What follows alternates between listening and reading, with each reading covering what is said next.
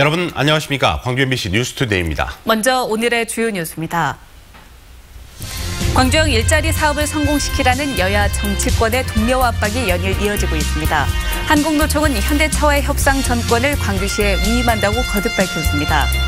한비던전 2호기와 4호기에 이어 1호기와 3호기에서도 콘크리트 경납벽의 공극이 발견돼 안전성과 신뢰성에 대한 우려가 커지고 있습니다. 여러 구설수에 올랐던 최규성 한국농어촌공사 사장이 취임 9달 만에 낙마했습니다. 수능 시험을 치른 고3 학생이 무면허로 렌터카를 몰다 전봇대를 들이받고 숨졌습니다. 광주형 일자리에 여야 정치권의 관심이 집중되고 있습니다. 바른미래당이 어제 광주를 찾아 초당적인 협력과 지원을 약속했습니다. 민주당은 다른 지역에서 사업을 추진할 수도 있다는 압박을 이어갔습니다. 정용욱 기자입니다. 광주형 일자리가 성공할 수 있도록 협력과 지원을 아끼지 않겠다.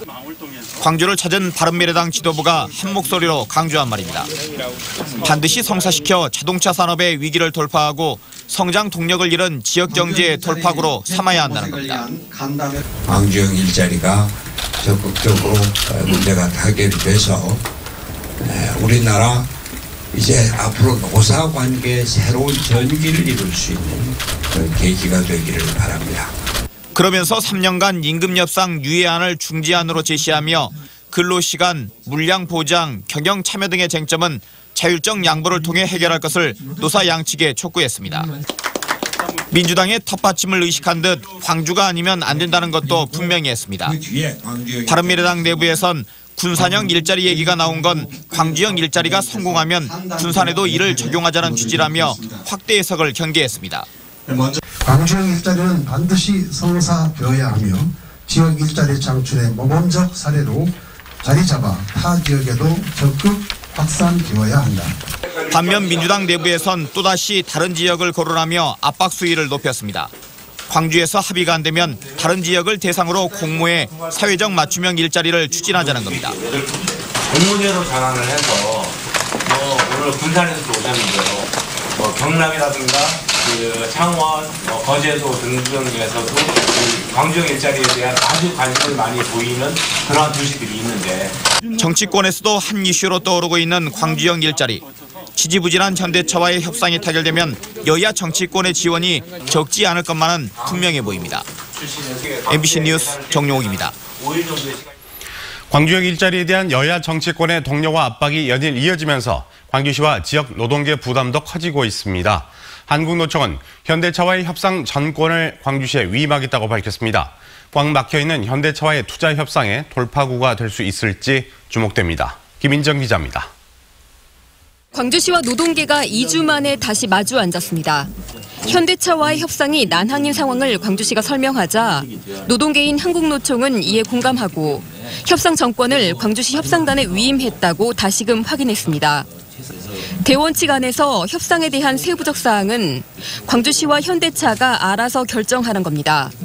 그 1인 권한을 제대로 활용하지 못한 것 같아서 아침에 새벽부터 어, 협상 추진팀이 만나서 그 1인 방향 대해서 다시 한번 강조해 드린 겁니다.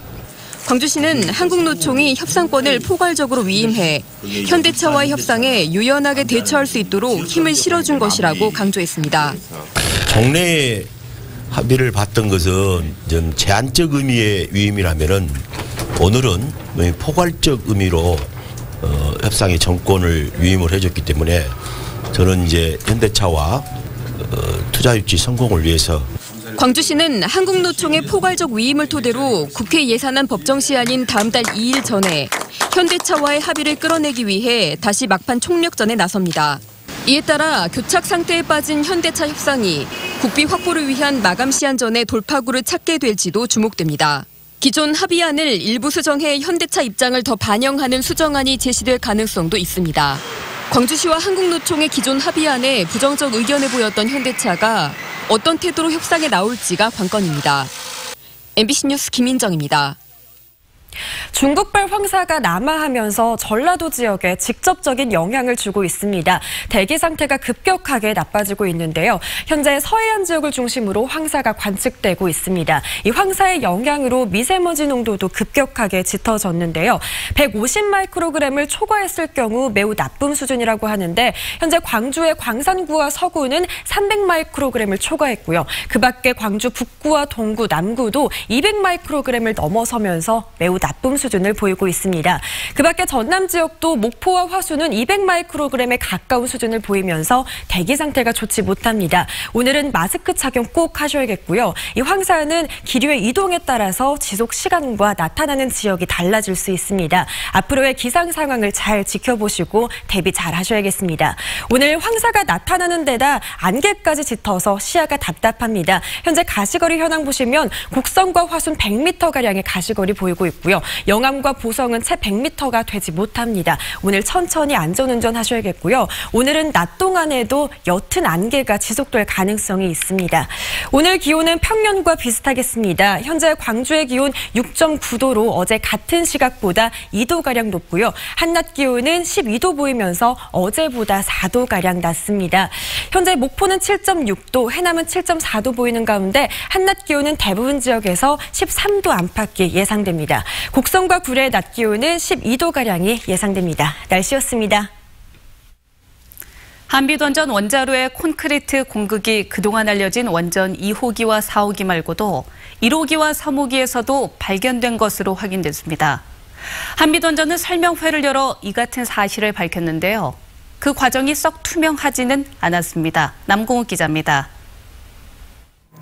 한빛원전 4호기 원자로를 둘러싼 경납 건물 콘크리트에 벌어진 틈. 이른바 공극이 발견된 건 1년 전입니다.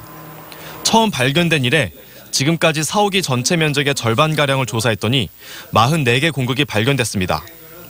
같은 시기 같은 공법으로 지어진 3호기에서도 공극이 있지 않을까 의심됐는데 사실로 드러났습니다. 보강제 이 부분, 또 수평앵글의 이 부분, 이게 같이 겹쳐서 공극이 더 많이 이렇게 깊게 발생한 것으로 저희들이 판단하고 있습니다. 그런데 이뿐만이 아니었습니다. 1호기와 2호기에서도 공극이 있었습니다. 원전 측이 1호기와 2호기의 일부를 조사했더니 각각 14개와 18개의 공극이 드러난 겁니다. 그러나 한빛 원전 측은 1, 2호기 공극은 설명 자료에 포함시키지도 않았다가 취재진이 질문하자 그제서야 마지못해 사실을 확인해줬습니다.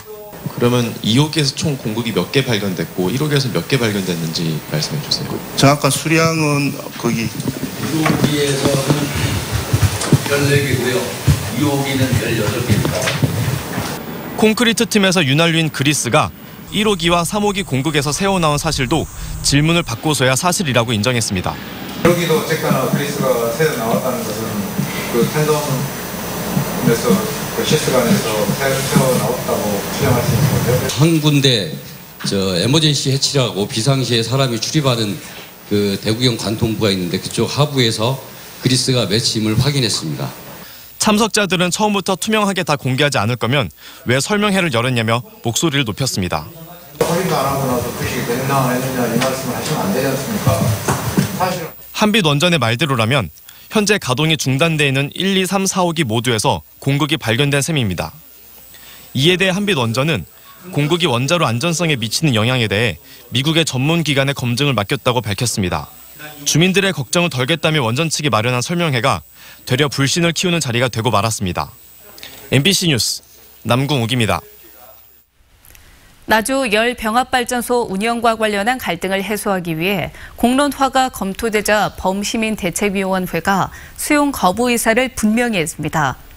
나주 열병합발전소 쓰레기 연료 사용 반대 범시민 대책위원회는 열병합발전소 운영을 공론화로 결정하자는 것은 발전소 가동을 위한 요식 행위일 뿐이라며 공론화위원회를 수용할 수 없다고 밝혔습니다. 범대위는 시민이 참여하는 이해 당사자 간 회의를 통해 해결 방안을 모색하고 실패할 경우 직접 피해 지역인 반경 5km 이내 시민을 대상으로 한 수용성 조사를 통해서 결정해야 한다고 주장했습 니다. 광주 전남 지역 건설업체인 삼능건설이 파산될 위기에 처했습니다. 광주지법 제1파산부는 삼능건설이 회생 계획을 제대로 수행하지 못하고 있을 뿐만 아니라 향후 회생 계획을 수행할 가망이 없다며 회생 절차 폐지 결정을 내렸습니다. 다음 달 5일까지 항고가 접수되지 않으면 파산 선고가 내려집니다. 삼능건설은 한때 광주 지역 시공 능력 평가액으로 광주 1위를 달성하기도 했던 중견기업이었지만 지난 2009년 유동성 위기에 몰리면서 법정 관리에 들어갔습니다. 최유성 한국농어촌공사 사장이 취임 9달 만에 낙마했습니다. 신형의 도피 행각을 도운 혐의로 검찰의 수사를 받을 가능성이 높아진 데다 태양광 업체를 운영했던 이력까지 논란이 되자 사의를 표명한 것으로 보입니다. 이계상 기자입니다. 농어촌 공사 최규성 사장이 청와대와 농림축산식품부에 전격적으로 사의를 표명했습니다. 최 사장의 사표는 하루 만에 수리됐고 취임 1년도 안 돼 결국 퇴진했습니다. 최 사장은 친형인 최기호 전 전북 교육감에 대한 검찰의 수사가 자신에게까지 확대되자 크게 부담을 느낀 것으로 알려졌습니다.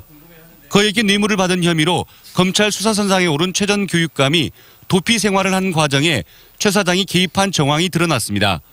이에 따라 최 사장이 조만간 검찰에 소환될 거라는 전망이 나오면서 전격 사퇴 결정을 내린 것으로 전해졌습니다. 여기에다 태양광 업체 대표를 역임한 이력 역시 농어촌 공사 사장직을 수행하기 어렵게 한 것으로 보입니다. 최 사장은 자신이 대표로 있던 태양광 업체가 농어촌 공사와 거래가 없었다며 적극적인 해명에 나섰지만 7조 원대의 태양광 발전 사업을 추진하는 공기업의 수장으로서 부적합하다는 여론을 돌파하기엔 부담이 컸던 것으로 분석됩니다. 최 사장의 낙마로 7조 원대의 태양광 사업 계획도 결국 수정이 불가피할 것으로 전망됩니다. MBC 뉴스 이계상입니다. 전국 학교 비정규직 노조 광주지부가 교육공무직 처우 개선을 요구하며 무기한 천막 농성에 들어갔습니다.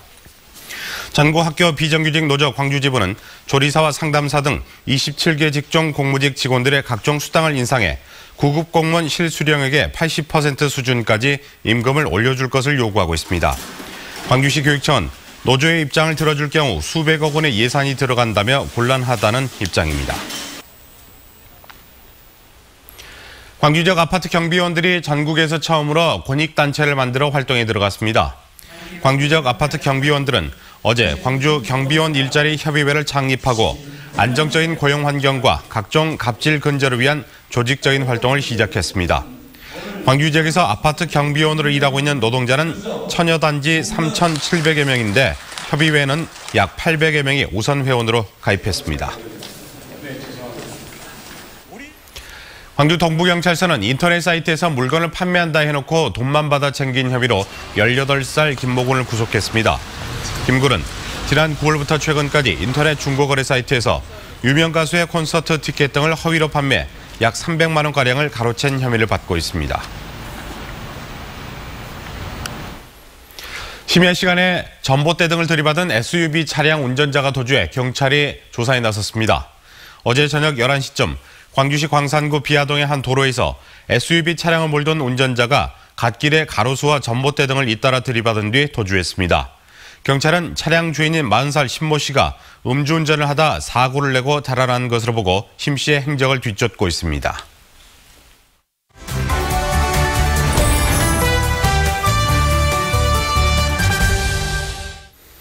네, 요즘은 가짜 뉴스가 온라인을 중심으로 빠르게 확산되는 경향을 보이고 있습니다. 5.18 관련 가짜 뉴스도 마찬가지입니다. 네, 전남대학교 5.18 연구소가 최근 5.18 가짜 뉴스의 확산 실태와 대응 방안을 모색하는 집단회를 열었습니다.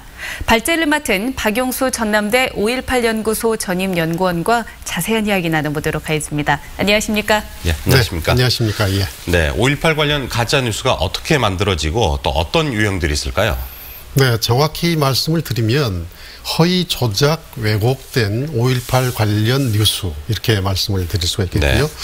대표적인 5.18 가짜 뉴스가 5.18은 북한군 600명이 침투해서 일으킨 폭동이다라는 건데요. 5.18의 주체 자체를 바꿔버리는 것이죠. 네. 허위 조작된 겁니다.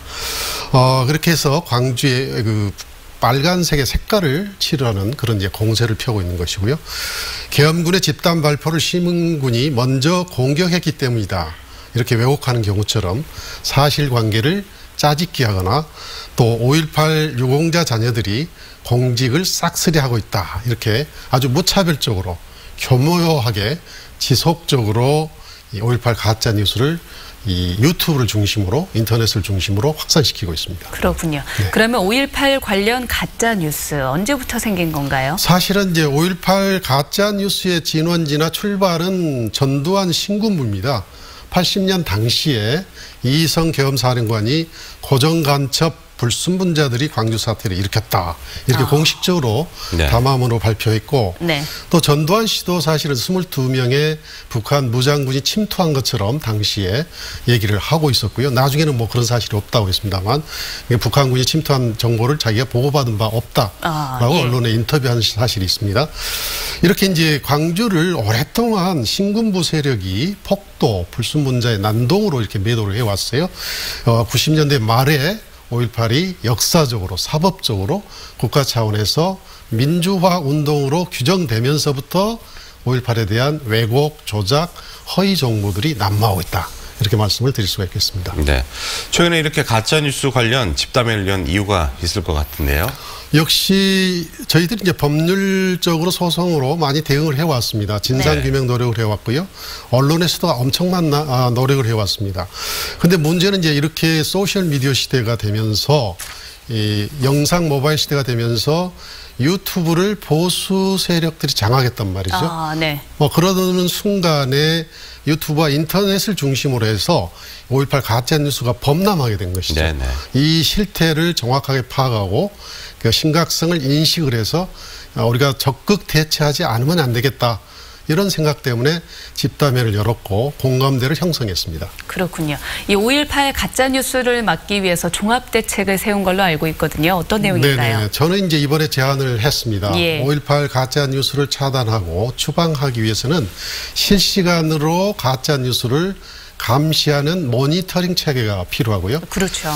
그다음에 이제 팩트 체크가 필요합니다. 네. 그래서 이거는 이제 팩트 체크는 사실 여부를 검증하는 것이고 거기에 따라서 사법적 대응을 강력하게 또 지속적으로 우리도 이제 집요하게 해야 된다는 겁니다. 또 하나가 이제 구글을 중심으로 해서 이 포털 사이트나 이런 쪽에 아, 우리가 이제 여과 장치를 만들도록 이 사회적 압력을 가해서 네. 근본적으로 차단하는 노력이 필요하다. 뭐 이런 주장들을 제가 제기했습니다. 네. 그런데 그렇게 가짜 뉴스를 차단할 때 벽에 부딪히는 게 항상 표현의 자유 아니겠습니까? 그렇죠. 예. 네네. 다 차단하고 없앨 수는 없을까요? 어, 물론 이제 언론과 표현의 자유와 충돌한다는 주장이 있고요. 실제로 그런 측면이 있습니다. 그러나 명명백백하게 허위 사실, 조작된 사실로 밝혀졌을 경우는 이런 것까지 언론의 자유나 표현의 자유로 보호할 수는 없습니다. 그래서 정부가 근본 대책을 수립해서 예, 그, 아, 근본적인 대책을 추진해야 되고요. 어, 국회에서도 관련 입법을 빨리 조속히 만드는 게 중요하다고 생각됩니다. 네. 제가 가장 많이 접한 게 그 유튜브하고 인터넷 포털 사이트인데 이것만 네. 어떻게 뿌리를 뽑아도 많이 사라지지 않을까 이런 생각이 듭니다. 네, 효과적이고 현실적인 방안이 매우 중요한데요. 아까 네. 말씀드린 것처럼 유튜브가 본사가 미국에 있지만 네. 한국에도 지사가 있기 때문에 유튜브에 여과 장치를 자체적으로 만들어서 네, 걸러낼 네. 수 있도록 차단할 수 있도록 사회적 압력을 가해서 관철시키는 것이 굉장히 중요합니다. 네, 알겠습니다. 오늘 말씀 잘 들었습니다. 나와 주셔서 고맙습니다. 네, 감사합니다. 감사합니다.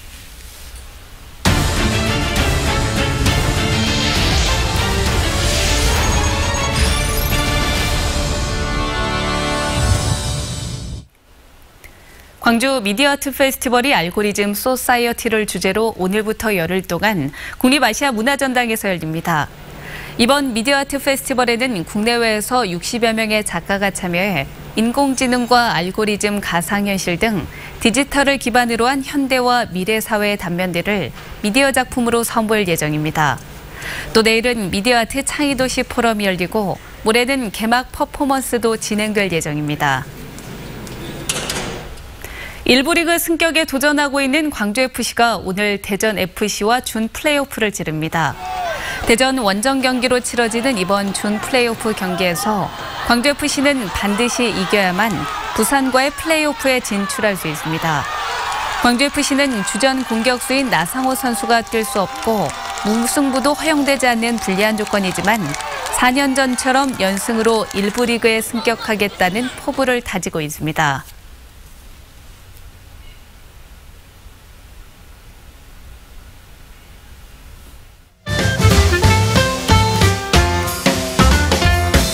연말 연시를 맞아 어려운 이웃을 돕는 사랑 나눔이 곳곳에서 이어지고 있습니다. 서구 풍암동 주민 50여 명은 직접 만든 김장김치를 독거노인과 장애인 가정, 경로당 측에 전달했고요. 동구 지원 2동에서는 마을 오케스트라가 이웃들을 위한 가을밤 콘서트를 열었습니다. 또 광산구 송정 1동에서는 마을 주민들이 목도리를 떠 돌봄 이웃들에게 나누고 있다니 올겨울 좀 더 따뜻해질 것 같죠? 흑산도 지역 탐방객들에게 도시락을 배달해주는 서비스가 있다는 것 아시나요? 카카오톡이나 전화로 미리 주문하면 인근 해산물 등을 활용한 도시락을 8,000원 선에서 제공한다고 하는데요. 도시락을 받거나 반납하는 건 흑산도 항에서 하면 됩니다. 문화가 있는 날 독일 낭만 음악의 대표적인 작곡가 슈만의 피아노 실내악을 만끽할 수 있는 무대가 11월 28일 빛고울 아트스페이스에서 열립니다. 광주시향 이종만 악장을 중심으로 서울과 광주에서 활발한 활동 중인 연주자들이 늦가을을 풍성하게 채울 예정입니다. 담양 대담미술관에서는 먹고 보고 듣는 미술관 즐기기 프로그램이 이번 주 금요일에 마련됩니다. 오후 5시부터 7시까지 댄립 주먹밥 나누기와 재즈 방석음악회, 캠프파이어 등 오감을 만족시킬 프로그램들로 구성되고요. 누구나 무료로 참여할 수 있습니다.